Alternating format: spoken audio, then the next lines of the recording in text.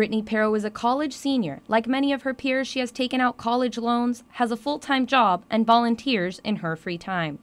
It was at the volunteer post where Pero learned of a professional opportunity unrelated to her college studies. Taught leadership and life skills to high school students.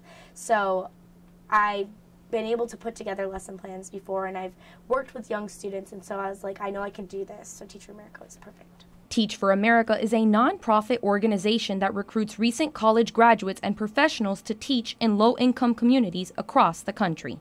With the job market soft and the labor force crowded, Pero realized that this idea could become her new reality. The thing that stuck most with me is one of their recruiters had called me and had a conversation on the phone with me for about an hour about telling me about the achievement gap and telling me about the program.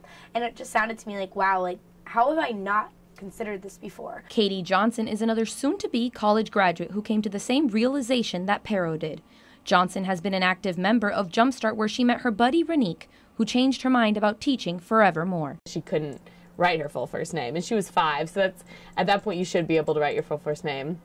And when I left, she wrote her full first name, her middle name, and her last name.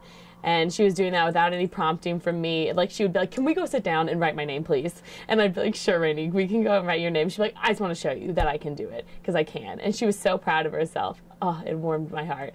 Pero and Johnson have high expectations as to what they will be getting out of Teach for America. I want to walk away knowing that my students believe in themselves and that they want to keep learning and they want to succeed. And I want to get an email like three years later from one of my, my students telling me like, Miss Pero, I'm applying to college, and um, I thank you for inspiring me. If I ever have a moment that even is one eighth of that, one eight hundredth of that, then I'll get what I want out of the program. Pero and Johnson hope not only to pay back all of their college loans, but to make an influence on their students that they will take beyond the classroom as they plan to. Reporting in Boston for EIV News, I am Bianca Pittaluga.